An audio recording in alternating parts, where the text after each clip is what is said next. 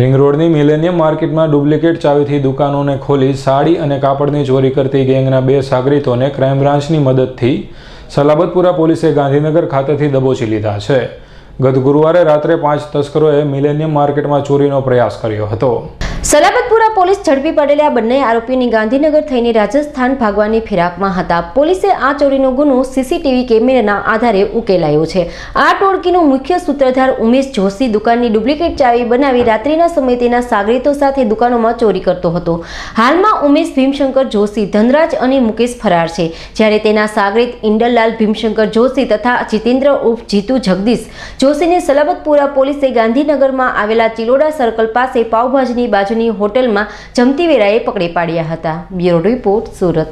રાજ્યભરમાં ખાતર કૌભાંડને લઈ ખેડૂતોમાં રોષ જોવા મળે છે. ત્યારે સુરતમાં પણ ખાતર કૌભાંડ આચર્યું હોય, જેને લઈ ખેડૂતોએ રોષ સાથે જીએસએફસી કંપનીનો વિરોધ કરી પૂતળા દહન કર્યું હતું. સુરતમાં ખાતર કૌભાંડ આચર્યું હોવાને લઈને ખેડૂતોમાં ભારે રોષ જોવા મળી રહ્યું છે. ત્યારે સુરતમાં ખેડૂતોએ ખાતર કૌભાંડમાં જવાબદાર એવી જીએસએફસી કંપની સામે ભારે રોષ વ્યક્ત કરી જીએસએફસી કંપનીનું ખેડૂતોએ પુત્રાદહન દહન કરી વિરોધ વ્યક્ત કર્યો હતો. ખેડૂતો સાથે આચરેલા ખાતર કૌભાંડને લઈને ખેડૂતોમાં ભારે રોષ જોવા મળ્યો હતો. Bureau report, Surat. સ્મીમેર હોસ્પિટલથી રેલવે ગરનાળા તરફ રિક્ષામાં જઈ રહેલા યુવાનના ખિસ્સામાંથી રોકડની ચોરી થઈ હોવાનો બનાવ પોલીસ મથકે નોંધાવા પામ્યો છે.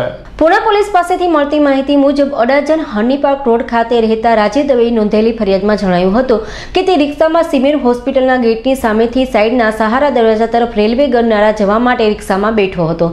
ત્યારે રિક્ષામાં અગાઉથી જ મુસાફરના સ્વાંગમાં બેસેલા રીઢાઓએ તેના ખિસ્સામાંથી રોકડ ઓગણત્રીસ હજારની ચોરી કરી લીધી હતી. હાલ તો બનાવ અંગે પુણા પોલીસે ગુનો નોંધી વધુ તપાસ હાથ ધરી છે. Bureau report Surat.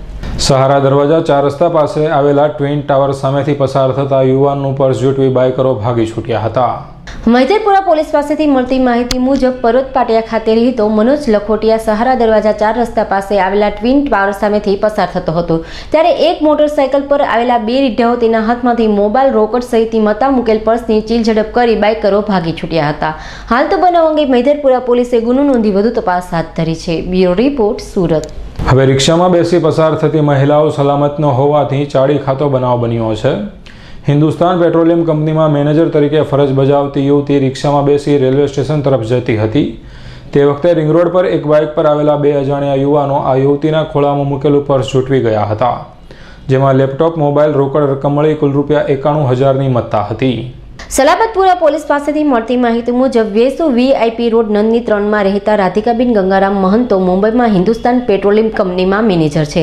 રાધિકાબેન સોમવારે સવારે મુંબઈ જવા માટે રિક્ષામાં બેસી રેલવે સ્ટેશન જતા હતા. તે વખતે રિંગ રોડ યુનિવર્સલ માર્કેટની સામેથી રિક્ષા પસાર થઈ રહી હતી. ત્યારે બાઇક પર આવેલા બે અજાણ્યા યુવાનો તેમના ખોળામાં મૂકેલું પર્સ છૂટવી નાસી ગયા હતા.